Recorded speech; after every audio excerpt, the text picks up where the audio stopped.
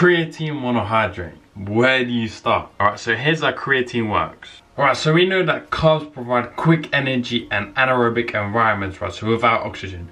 And we know that fats provide slow energy and low intensity state environments, so with oxygen.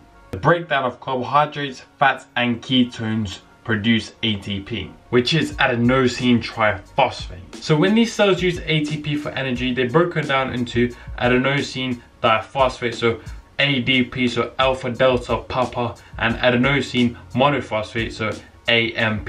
So all creatine really does in simple terms is donating a phosphate group, which is energy, to adenosine diphosphate, so the ADP, to again make ATP. Alright, so that's enough of ATP, ADP, AMP, or ABC or something like that.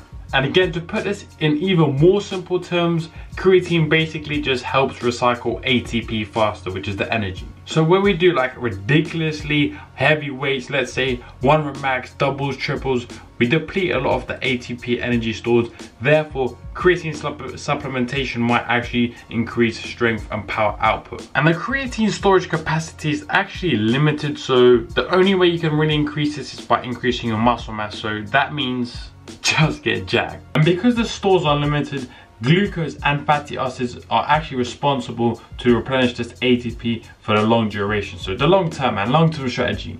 The main storage of creatine in the human body is in skeletal contractile muscles, so in our muscles, and the same goes in animals. So when we eat these animals, that means meat products, they contain probably the most amount of creatine. Hence why I always say, if you don't have a lot of red meat in your diet, maybe even just twice a week, then maybe creatine supplementation is for you. Supplementation. Dairy products also contain some creatine for those of you who didn't know that either. Right, so here's what most people think creatine is the magic dose or I don't know what, the magic pill powder. So when creatine is absorbed, it pulls water in with it, leading to cell swelling, making basically your muscles or let's say your arms look a little bit bigger. And according to two meta-analyses, again, loads of studies in one, showing a greater increase in power output during eight weeks in males and females. And probably the one that you're probably most interested in and that's when to take it. Now, the research, I guess, kind of goes on the side of taking it closer to the workout, so pre-workout or post-workout. Some studies have said better post-workout, but maybe just take it closer to your workout time. Um, but I mean, again, it's like same with meal timing. Overall, what it really comes down to is just taking a damn creatine. So probably the most important part of this video, the responders and non-responders. So the responders as you probably could have guessed are the ones that could see a lot of change or at least some change and our non-responders the complete opposite of that. Typically the non-responders have smaller muscles, less type 2 muscle fibers and already have quite a lot of creatine in their muscles. And again like I said there's a limited capacity.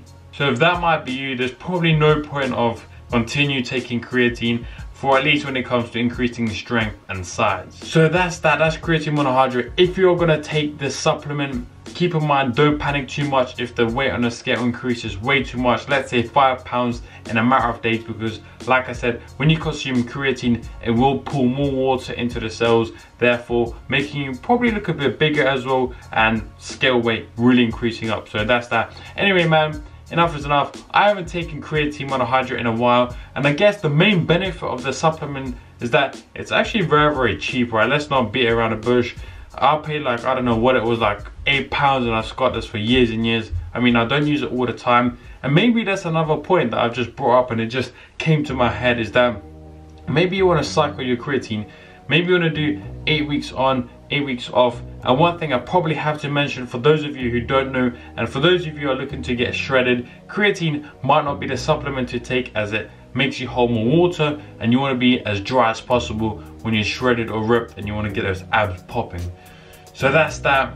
That's creatine monohydrate. Most of the things you need to know. There's probably a lot more you need to know. But again, in my opinion, or just one thing I want you to take away from this video is don't think black and white. Don't think creatine is the be all end all. Make sure you have your calories in check, your total protein, daily protein in check, your macronutrients, and then you can start worrying about supplements. Again, to summarize, if you don't eat a lot of red meat, or let's say even that twice a week, or you don't even eat a lot of dairy products, or if you're a vegetarian or a vegan, maybe creatine would be a good supplement for you.